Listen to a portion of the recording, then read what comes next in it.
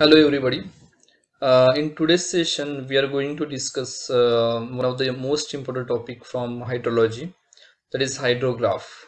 So uh, this is the hydrograph. Now in this hydrograph, uh, uh, you can see uh, this is a graph of discharge versus time. So time is there in hours, whereas discharge is there in meter cube per second.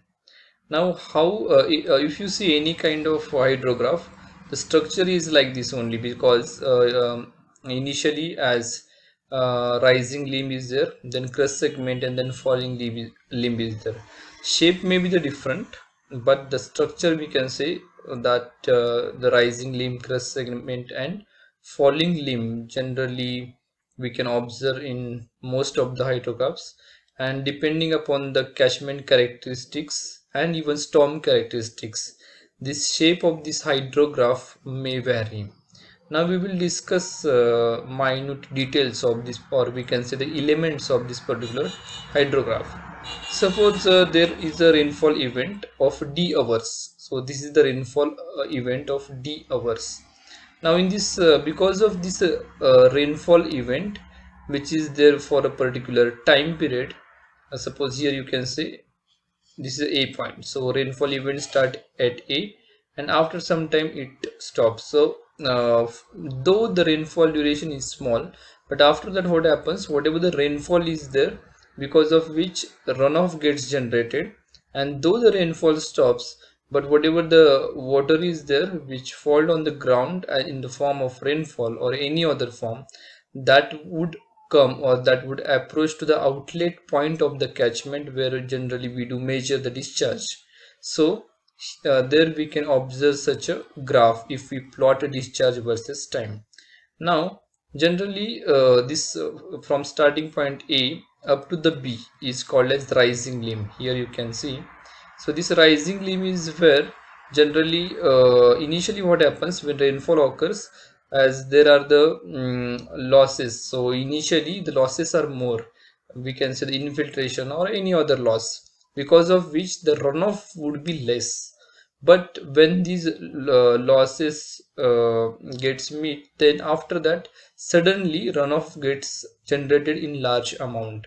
So here we, you can see the rising limb up to the point b. This point b is inflection points so b and c are the inflection points and between these inflection points this curve bc is uh, basically crest segment. So this is called as crest segment and at the center of this generally we do observe the large quantity of runoff or we can say the peak flood at point p. And uh, once from this point c then again uh, then discharge gets uh, decrease it uh, decreases.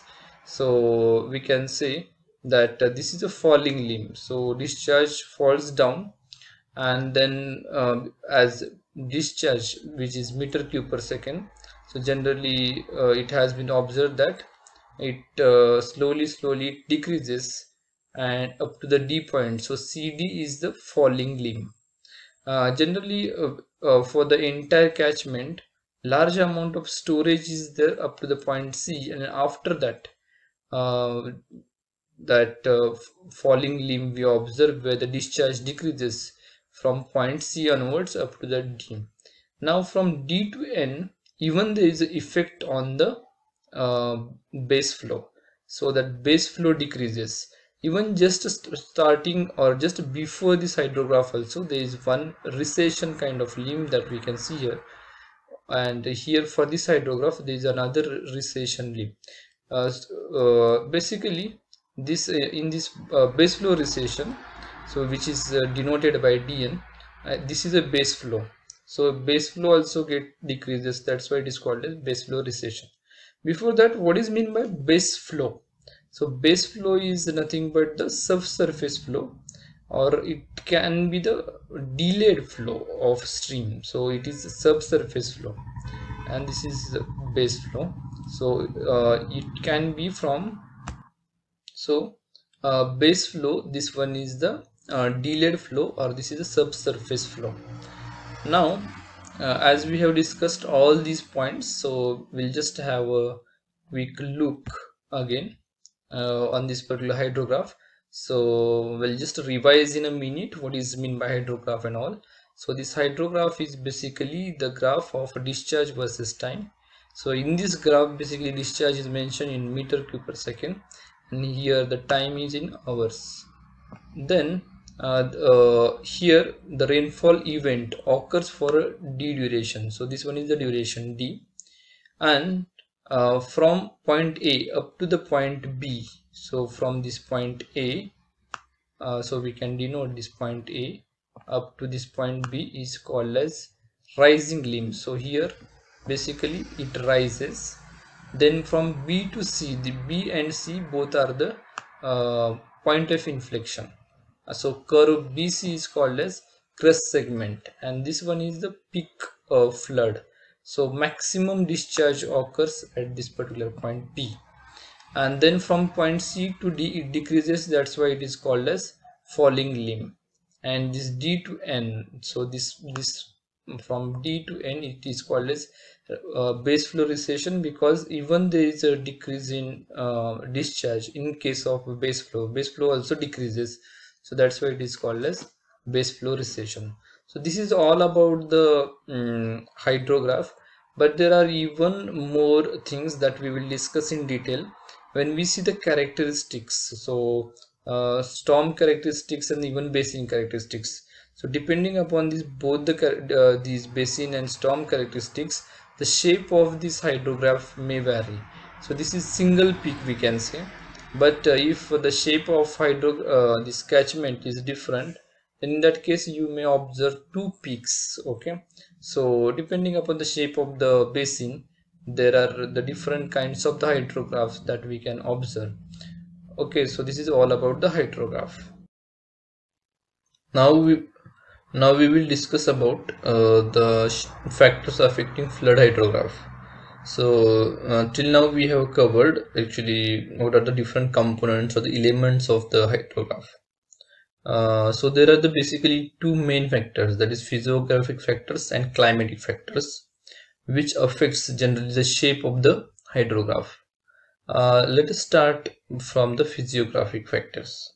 Even in the physiographic factors there are the three types basin characteristics then infiltration characteristics and the channel characteristics.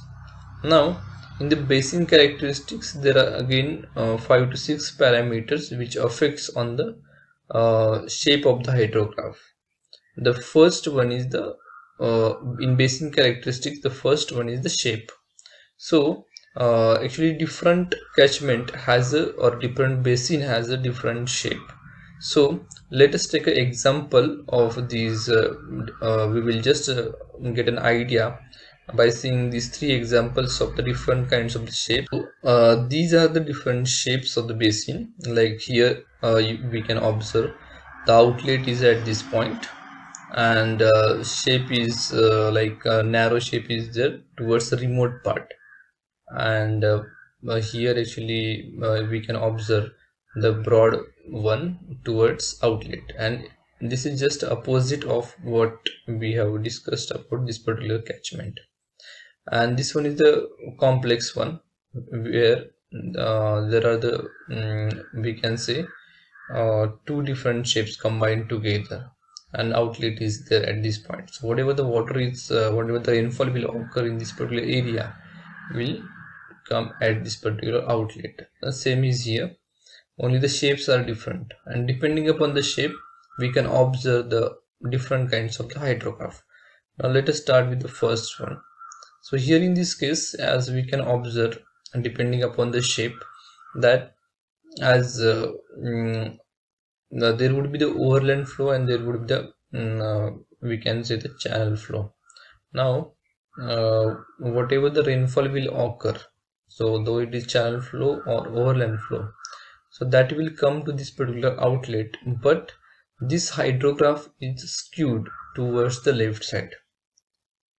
Because uh, the quick runoff will quick peak will achieve in this case. Whereas in this case it will take time to achieve a peak because slowly it is rising and then after some time it will achieve a peak. But in this case uh, the there is quick response like uh, uh, peak will be there in the less time. And why it is happening? Because in this case actually uh, whatever this area is there so from the remote uh, point actually it will take a time to approach to this particular outlet and that the lar large amount of or the large quantity of water would be there in the form of runoff. Where in this case where uh, whatever the large quantity is there that will come early. In this case it will take a time. And that's why the shapes are there as skewed towards left side and skewed towards the right side it means that where uh, here you, we can observe that narrow shape is there towards left. So then and uh, provided that outlet should be there at this side. Then we can observe the hydrograph skewed towards left side. And in this case hydrograph skewed towards the right side. Here actually uh, the shape is kind of complex shape. And two times twice peak will get observed in this particular hydrograph so this is all about uh, whatever the effect of uh, catchment on hydrograph is there. Next parameter is there. Uh, this is called as uh, size of the basin. So the first parameter that uh, we have completed which is about the shape. So depending upon the uh, shape as we have seen the there are the different kind of what we can say um, uh, shape of the hydrograph will get generated depending upon the shape of the catchment. So this is all about the uh, shape. Then second parameter is the size. If the small catchment is there or the small basin area is there then uh, peak will get achieved in less time. Whereas in case of large basin the peak will get achieved uh, after longer time so that is the most important thing which we observe in case of size of the catchment. Uh, the, as depending upon the peak also we can even find out as there are the few scientists who, uh, who worked on a uh, time like uh, how much time it takes or how much would be the uh, peak peak discharge of any catchment. For so for that purpose actually there is one formula. So by using uh, that formula even we can find out suppose qp qp is the peak discharge. So uh, there is a simple formula to find out the peak discharge uh, which is equal to qp is equal to a raised to m. So a raised to n in which a is the catchment area. And uh, uh, n is actually it is a constant and the value of n is basically 0.5 so this is simple formula. Qp is equal to a raised to n.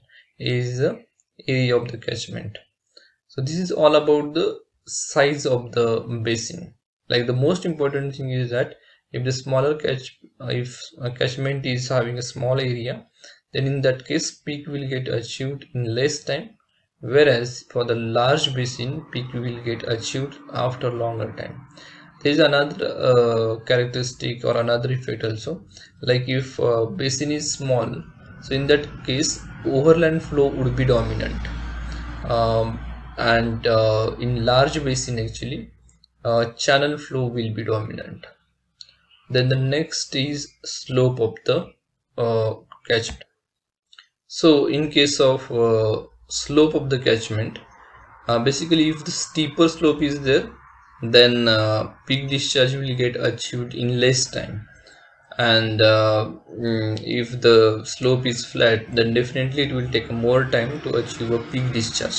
So that is the basic difference between uh, slope and uh, steeper slope and flat slope. And definitely as uh, uh, weaker in less time if peak will get achieved. So uh, even uh, this recession limb generally represents that like a storage decreases that we do we have observed in the recession limb so that recession limb will be mm, uh, more steeper in case of the catchment which has a steep slope. Uh, so this is all about the slope. Then uh, there are the uh, another most important characteristics which is drainage density so that we will discuss with the help of another figure where we will show the drainage density. So this is a simple example uh, for the drainage density. So these are the two catchments catchment a and catchment b. So catchment a is having a higher drainage density than catchment b. So what is meant by drainage density? So drainage density is basically uh, the length of the drainage line or we can say the length of streams entire length of the stream divided by uh, total catchment area. So this is all about the drainage density. So in case of a the drainage density is more than b and you can see that this one is the hydrograph for the catchment a. Whereas there is another catchment b. You can see the um, shape is somewhat flat and peak is achieved later. So there is a lag uh, why this lag is there? Because the maximum amount of water will carried uh, through overland flow instead of these uh, drainage lines. Whereas in this case uh, it will uh, quicker response would be there because most of the, the large amount of water will carried through these particular uh, streams. So that's why the shapes are different and there is a lag because of um, um, most of the water would be contributed to overland flow so in this way basically uh, this uh, drainage density matters in case of shape of the hydrograph. Okay so now we will discuss about the next uh, parameter or next factor we can say that is infiltration characteristics. Again in the infiltration characteristics uh, there are the subtypes we can see are the sub parameters that is land use land cover soil type lakes all these things but the most important thing is that uh, it has a connection with the with each other. Um, because of the land use land cover or the depending upon the infiltration characteristics of the soil as uh, if the soil is uh, mm, having a larger particle size if it is a kind of fine soil or clay soil so in that case more runoff will get generated in less time. Whereas if the soil is sandy so that will get infiltrated. So more amount of water will get infiltrated and it will take a uh, more time to achieve a peak or runoff. Then in case of land use land cover actually uh, as uh, for the smaller catchments so uh, it will store more amount of even both the case actually because of the forest cover uh, or we can say the grass actually uh, water will not stored rather it will flow. So in this way it affects on the uh, shape of the hydrograph. But the most important thing is that in case of small catchments uh, its impact is more than the larger catchment the impact of land is land cover. If uh, the land is there without grass or without forest so in that case uh, runoff or uh, this peak discharge will achieved in less time if there is no forest cover. So this is all about the uh, infiltration characteristics. So till now we have covered this basin characteristics as well as this infiltration characteristics. Now we will discuss about the channel characteristics cross section roughness and storage capacity. So basically uh, even the channel characteristics also affects on the shape of the hydrograph it means that the uh, that cross section of the roughness and the storage capacity of that particular channel. The channel is nothing but the stream. So but it has a less impact as compared to this infiltration characteristics or basin characteristics. The major part or the major mo uh, most important parameters are these basin characteristics. So this is all about the physiographic factors which we have discussed. Now we will discuss about the climatic factors. Now we will discuss about uh, these climatic factors. So basically in climatic factors the storm characteristics is the most important part uh, in which actually uh, intensity duration magnitude and the movement of the storm is uh, the most important sub parameter are the most important sub parameters the movement of storm we can say the direction. The magnitude is the quantity duration is the time and intensity of precipitation that we know that is rainfall or the precipitation divided by time. So how intensely the rain, uh, intensely uh, rainfall occur. So that uh, mm, and all these sub parameters are uh, uh, all these sub parameters basically affects on the shape of the hydrograph so now how it affects is basically um, if we say if we take an example of suppose uh, intensity. Now if uh, the intensity is high so definitely what will happen? So uh, if intensity is more intensity of rainfall is more than the infiltration loss or the initial loss we can say in that case runoff will get generated in less time and definitely it will have an impact on peak of the hydrograph. In the same way how long this particular rainfall is there so that is duration and the, its quantity which represents in the form of discharge or the peak discharge. Now this movement of the storm is basically direction of the storm. Suppose uh, uh, storm is moving from uh, upstream towards downstream towards outlet. So in that case quick discharge will get achieved. Yes so in this way basically these uh, uh, climatic factors affects on the shape. Uh, we will we can also discuss in uh, another way like uh, uh, shape of the sorry these climatic factors. So in the, in case of climatic factors here you can see as i told if what direction of the storm is from upstream towards downstream. So rainfall is going like this. So in that case quicker discharge will be there in the less time. So this is all about the uh, what we have discussed different uh, uh, factors which affects on the hydrograph.